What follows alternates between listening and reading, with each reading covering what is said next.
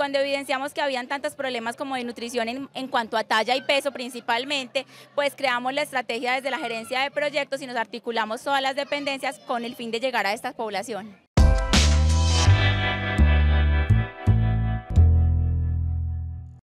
Bienvenidos a esta edición de quienique.com. Yo me encuentro con Isabel Cristina Cadavid, quien es secretaria de Inclusión Social en la ciudad de Medellín. Secretaria, bienvenida a este espacio y cuéntenos, ¿se logra una ayuda alimentaria para más de 700 niños de la ciudad? Sí, la verdad es que la estrategia Cero Hambre la articulamos desde la Alcaldía de Medellín. Es la primera vez que la Alcaldía como institución sale a buscar a la población. La logramos obtener a través de diferentes bases de datos, la caracterizamos, individualizamos algunos problemas nutricionales que presentaban nuestros niños y niñas. Estamos con una población de 0 a 5 años que no es institucionalizada en este momento. Nuestra meta es hacer seis entregas con esta completamos 1.200, en noviembre habíamos entregado 500, ahora estamos entregando 700. El paquete de hoy tiene más de 18 productos nutricionales para todo el núcleo familiar y la idea es que nosotros logremos llevar toda la oferta institucional hasta esos hogares y logremos articularlos vinculándolos con el programa Buen Comienzo. Esta es una respuesta también al llamado del gobierno nacional para que haya cero hambre en Colombia y precisamente Medellín también.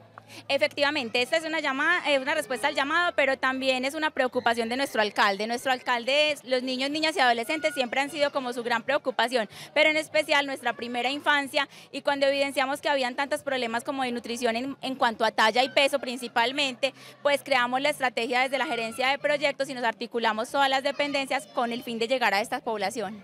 Como dice usted, son niños que no estaban vinculados con Buen Comienzo, que no tenían esa oportunidad de estar todo el año con la alimentación de, del programa en realidad son niños que siguen hoy sin estar en buen comienzo. Son niños que no están institucionados, que son institucionalizados, que son atendidos por sus núcleos familiares, pero pues dada la situación que tuvimos post pandemia, las situaciones económicas que hoy presentan las familias, entonces nuestra meta es lograr que esas familias los articulen hasta nuestra oferta institucional, no solo en los paquetes alimentarios, sino en toda la oferta, incluido buen comienzo, para que nuestros niños logren vincularse y puedan empezar a presentar una mejoría a todos los niveles en todas las dimensiones de desarrollo y crecimiento. La Secretaría de Inclusión Social también fue reconocida recientemente por la labor que se viene haciendo en Medellín. ¿Cómo fue esto? Un reconocimiento internacional.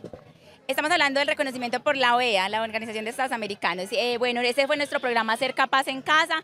Es un reconocimiento que hace la Organización de Estados Americanos. Allí atendemos personas con ciertas condiciones de severas de discapacidad.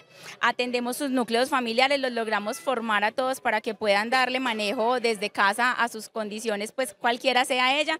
Y efectivamente es un trabajo muy lindo que se viene haciendo con el territorio. Los visitamos hasta sus hogares y fue un reconocimiento que adquirió la alcaldía.